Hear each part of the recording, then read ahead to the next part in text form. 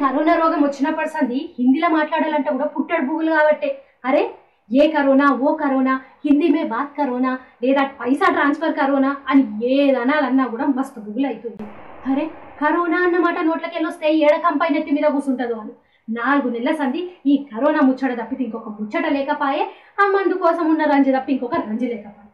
ఆకలి సావులు చూసినాం అడక్క దిన సావులు చూసినాం యాక్సిడెంట్ సావులు చూసినాం కానీ గిసొంటి సావు అయితే ఏడ చూడవు ఇంట్లో ఉన్నోడేమో రోడ్డు మీద పడే రోడ్డు మీద ఉన్నోడేమో పొందలగడ్డనే నిమ్మలమని ఊకుండు ఈ కథ గిట్లున్నదా?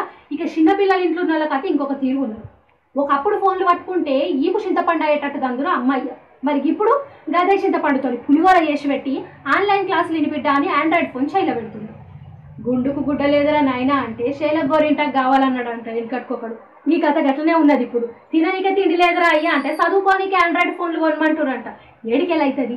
చాలీసాలని బతుకులాయే వచ్చి రాని జీతాలాయే. కష్టం కాదు ఈ కథ గిట్లున్నది ఇక బయట తిరగటోళ్ళ సోపతి ఇంకొక తీరుగానే ఉన్నది. అయ్య గిట్ల వండంగానే తాళం షై తీసుకొని బండేసుకొని తిరగటోడు ఒకడు. అరే ఐదు నిమిషాలలో ఇంటికి వస్తాను తిరగటోడు ఇంకొకడు. పొద్దుగాల పోయి పెత్తనాలు చేసి రాత్రికి ఇంటికి చేరటోడు ఇంకొకడు. మరి ఇట్లా తిరిగేటోడు మరి మూతికి మాస్క్ చక్కగా పెట్టుకొని చేతికి శానిటైజర్ ఏమైనా వేసుకుంటుండా అంటే ఆహా అక్కడికి వచ్చినప్పుడు అమాస పుణ్యానికి ఎప్పుడో గడుగుడు లేకపోతే యాద్మాసు పనున్నోడు పని లేనోడు పనికి మాలినోడు అందరు బయట తిరుగుడే నాయి. బయటనే తినోడు బయటనే తిరుగుడు. మరి వెరుగుమంటే ఎందుకు పెరిగాయి రోగాలు? చేతులు కాలినాక ఆకులు పట్టుకొని ఏం లాభం? శాగస్తపు మొగడు చెప్తినాడు గిల్లి తేడుస్తాడని రోగాలు రాకముందు జాగ్రత్త పడుడు లేకపోయే. రోగం వచ్చినాక కూర్చొని ఏడ్చుడు ఒకటే పనికి మళ్ళీ పన్నాయి మళ్ళీ హాస్పిటల్ ఇట్లా అవి అట్లా అని అనుకున్నాడు తప్పితే ఇంకొక తోవలేకపోయే ఎన్నడు బాగుపడతాయో ఏమో కదా జీవితాలు.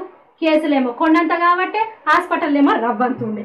హాస్పిటల్లో తిరిగేటువంటి డాక్టర్లు బయట ఊడ్చేటువంటి జిహెచ్ఎంసీ ఎంప్లాయీలు మళ్ళీ రోడ్ల మీద కాపలా పోలీసులు.